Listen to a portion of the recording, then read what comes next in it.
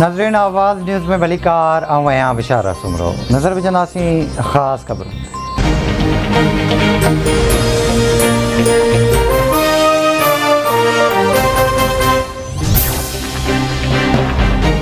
opposition वटि बेतमादी जी रिथ की कामयाबी ला एक सौ बहत्तर नंबर पूरा कर वरता आहिनि ॿ आज़ाद मेंबर टे काफ़िलीग जहा वोट चार बी ए पी ऐं असलम भोतानी के शामिल करे अंग एक सौ बहत्तर कर वरतो है नून लीग अगवान राणा सनावला जी दावा चवे तो अली वज़ीर जेल में है इन जो प्रोडक्शन आर्डर जारी थे घुर्जे जाम अब्दुल करीम परडे में है संदस ज़मानत मंजूर थियल आहे जल्द डे पहुचंदो इमरान ख़ान वटि एक ही रस्त बचो है तो इो इस्तीफ़ा दिए फवाद चौधरी जे भाउ ऐं शाह मोहम्मद कुरैशी जे घर मां बि हिकु वोट मिलण जी उमेदु आहे चौधरी परवेज़ लाइ पंजाब जो वॾो वज़ीर कंहिं बि सूरत में न थींदो उसमान गुज़दार जी सूरत में पीटीआई जो नओं धड़ो साम्हूं अची चुको आहे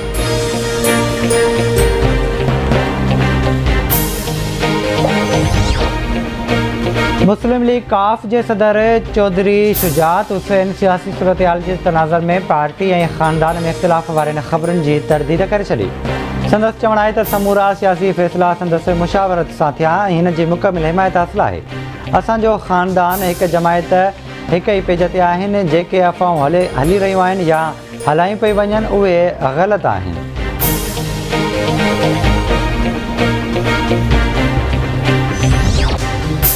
नाजिम जोखी कतल केस में पीपल्स पार्टी के कौमी असेंबली के मेंबर जाम अब्दुल करीम समेत समूरनि जवाबदारनि नाला ई सी एल में विझण की मंज़ूरी दे छी मंज़ूरी वफ़ाक़ी काबीना की सर्कुलेशन समरी ज़रिए वठी वई